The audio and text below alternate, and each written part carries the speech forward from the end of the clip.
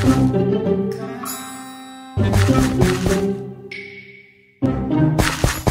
you.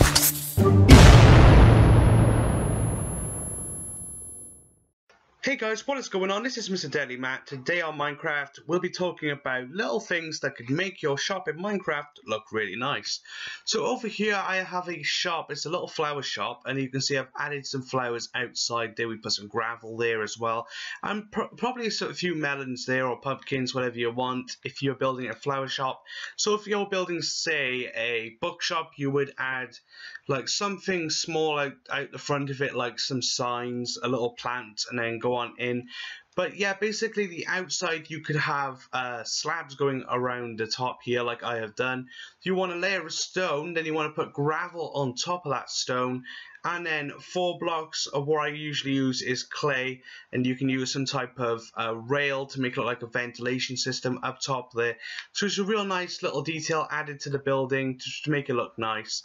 And you've got some simple iron blocks here to make it look like you've got um, venting going down on the side of the building like I said you can add some uh, plants or whatever exterior you want to have out here. Just to make it look nice just a couple of plants to make it look like there's something there. You could have this bit here so it looks like a, a sign for the shop or you could place your own little sign by the door.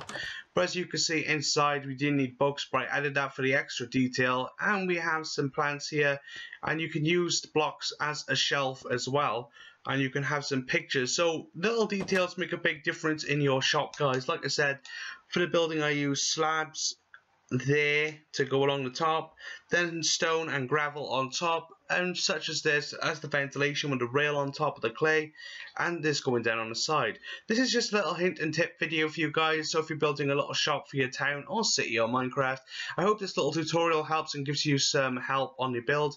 I've even got a food shop over here you may have seen it in my previous build but like I said if you're building like a restaurant just do like a, something similar like this like a burger on top or something just to so people can say oh yeah it's a food shop so hopefully that helps just to put something on top to make it stand out.